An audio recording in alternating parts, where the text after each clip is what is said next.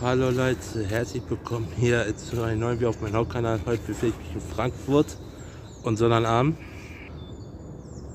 Deutscher Bankpark von Eintracht Frankfurt, früher als Commerzbank Park, also Arena gegründet früher. Und ja, ist ein wirklich geiles Stadion. Und und dieses Jahr spielen die da auch UEFA Euro 24, also EM.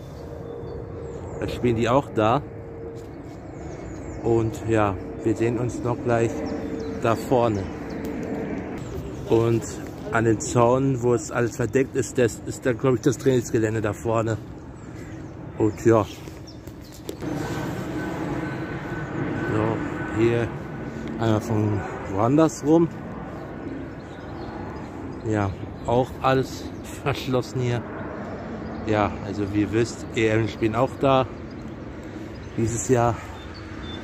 Und ja, sehen uns beim nächsten. Ja, hier ist das Geradle, Stadion Tunnel 4. Und ähm, ja, hier ist noch ein Fanmobil von, Mobil von Eintracht Frankfurt. Und ja, Sieht krass aus. Ja, hier ist der Flugzeug. Und ja, hier ist auch noch, was da oben steht. Ja. So, hier ist auch noch was. Hier ist noch was. Ja. Das war's eigentlich. Und ja.